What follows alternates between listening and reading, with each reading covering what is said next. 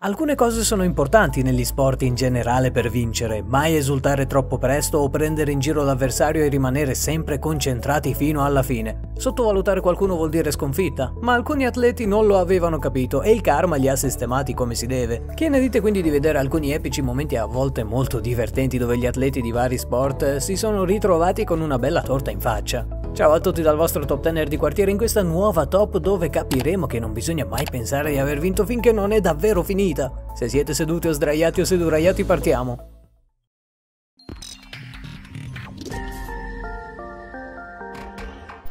Numero 10. Nel basket ogni secondo è importante, ancora più che nel calcio l'azione finale può cambiare la sorte di una partita, come in questo caso. Mancavano pochi secondi e la squadra con la maglietta bianca era in vantaggio di 3 punti. A soli 3.8 secondi dalla fine uno dei giocatori aveva deciso di lanciare la palla in aria con noncuranza, come se ormai tutto fosse concluso.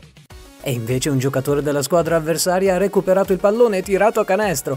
Forse a caso, ma comunque sia era un tiro da 3 che gli ha permesso di pareggiare. Come dicevo all'inizio, mai e poi mai prendersela comoda solo perché si è verso la fine e fare gli arroganti.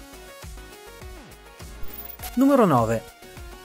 L'MMA è veramente uno sport tosto, insomma la gente si picchia, quindi diciamo che questo genere di sport fa letteralmente male se non si è preparati. È un motivo in più per stare attenti e tenere gli occhi aperti, quindi, per non cadere rumorosamente come in questo caso, dove un combattente ha deciso di prendersi gioco dell'avversario inscenando un ballo come se non ci fosse un domani. È come se ormai avesse vinto e l'incontro fosse suo. Peccato però che il karma sotto forma di calcio gli abbia dato una bella lezione.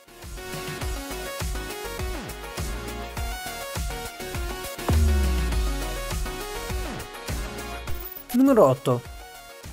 Non pensiate però accada solo negli incontri famosi di MMA di vedere degli arroganti che cadono giù. Anche negli amatoriali meno famosi a volte ci sono gli immortali della situazione che si scoprono e non stanno nemmeno in guardia, come in questo caso. Una cosa non hanno insegnato al signore afroamericano, cioè che i pugni sul mento possono buttare giù anche il più grosso.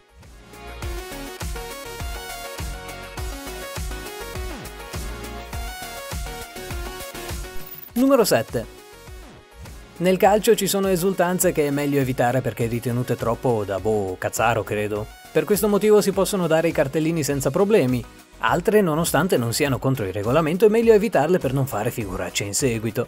Come in questo caso dove Leivin Kurzawa aveva segnato un bellissimo gol, piuttosto che rimanere un attimino umile ha preso in giro i giocatori della squadra avversaria con la sua strana esultanza ma poco dopo gli avversari hanno segnato un gol a loro volta, prendendolo in giro tutti insieme con il suo metodo.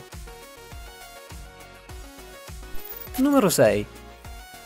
Tempo fa seguivo moltissimo la MotoGP. La domenica per me era dedicata ai panini con la Nutella e Valentino Rossi. Ero un fan sfegatato come pochi, ma questa è un'altra storia. Comunque mi ricordo di quella volta nel 2012 in cui Riccardo Russo fece una figuraccia senza uguali.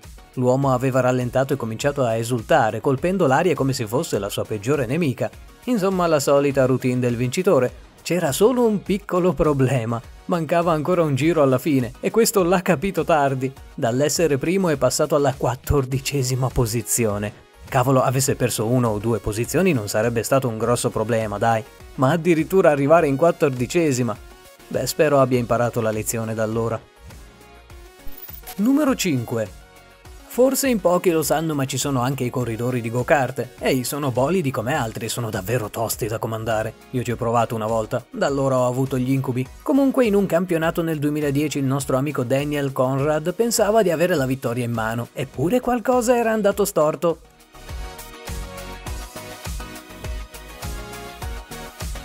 Tutto questo è successo perché aveva mollato il volante. Mai e poi mai mollare il volante durante una corsa. Penso sia la prima regola da rispettare, o no? Numero 4. Nella pallavolo a volte le azioni sono così veloci che è difficile capire chi abbia in mano il punto. In questo caso, per esempio, la squadra rossa aveva bloccato una schiacciata, dopodiché un giocatore giustamente pensava che ormai fosse punto, ma mai dire mai. Con un'incredibile rimonta, la squadra avversaria è riuscita a ribaltare la situazione. A causa di una sola persona i compagni di squadra hanno dovuto fare i salti mortali per riuscire a recuperare, ma non c'è stato verso.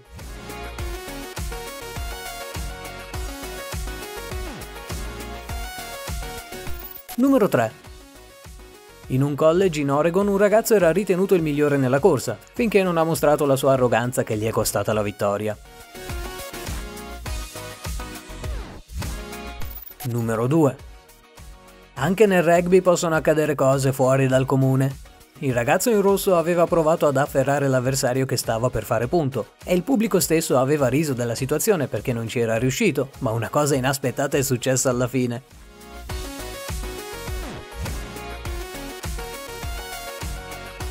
E niente, anche se il mondo è contro di voi, non mollate mai.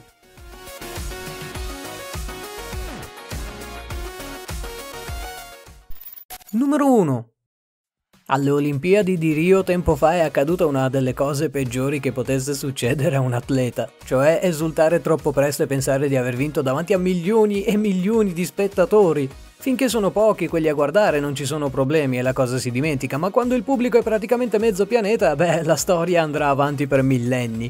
Il combattente Bin, di origine cinese, ha alzato le mani e lanciato un piccolo urlo prima ancora che i giudici avessero preso una decisione decidendo così da solo la sua vittoria, come fosse una cosa certa, e invece è stato il suo avversario Peter Mungai Warui ad aggiudicarsi l'incontro. Pensate che era così sorpreso da riuscire a malapena a capire la situazione in cui era.